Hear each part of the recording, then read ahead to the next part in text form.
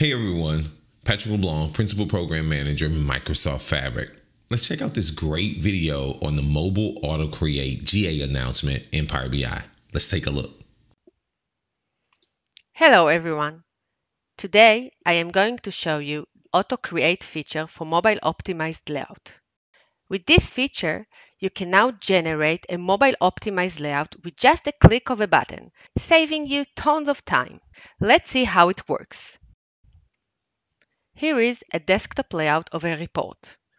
As you can see, this layout includes page navigator, slicers, overlaid visuals, and visuals with different visibility state that can be hidden and shown using the bookmark button. Now, let's switch to the mobile layout. If the mobile canvas is empty, you can generate a mobile layout just by selecting the Auto Create button. As you can see, I now have a mobile layout generated from the desktop layout. The Auto Create engine understands the desktop layout of your report and builds a mobile layout that considers the position, size, type, and order of the visuals that the report contains. And as you can see, it also takes into account the overlaid visuals and the hidden visuals, so the bookmark buttons works the same way we saw in the desktop layout in the mobile layout as well.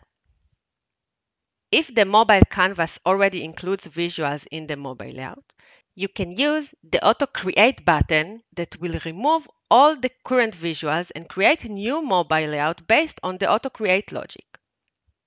You can use the Undo option to return to the previous layout if you want.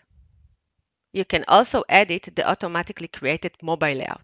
So if the result is not exactly what you expected, you can tweak it to make it perfect for your needs.